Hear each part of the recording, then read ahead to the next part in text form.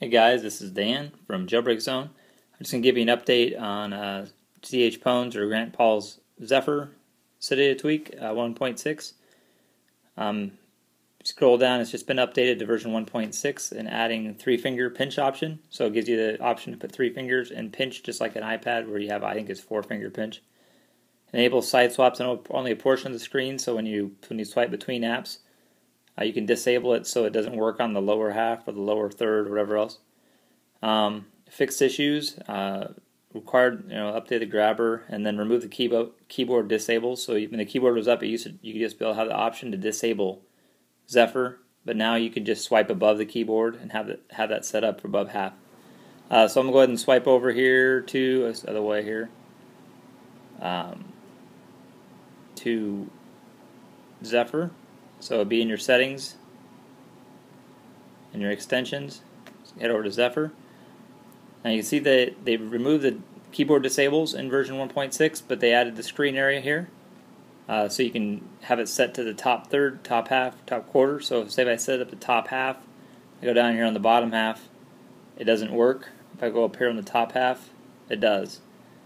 Now this top third is just going to bring that up a little higher so it won't work at the halfway point now but it'll work at the, at the third point. Maybe pick a little higher up here.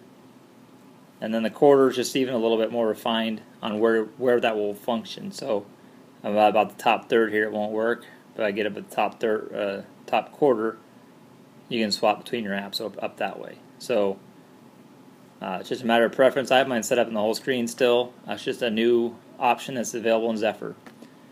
Other than that, um, there's been uh, some four finger switcher, so the four fingers will work along the bottom. Along the bottom um, has been added, and the three finger pinch, which I can show you here. Just put three fingers here, close them just like you do on the iPad to close an app.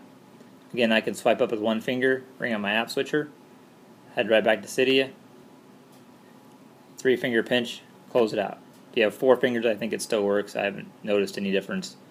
Bring that up, switch back to your, your app that you're in, I uh, try try even five fingers doesn't work. It looks like, but if you have well, four does not work, you have to do three. Close your app. Otherwise, uh, head over to our website iPadjailbreak.com. As you see on the lower left here, you uh, can subscribe to our YouTube channel. We'll probably be giving away an iPad Mini and a and a giveaway coming up here soon.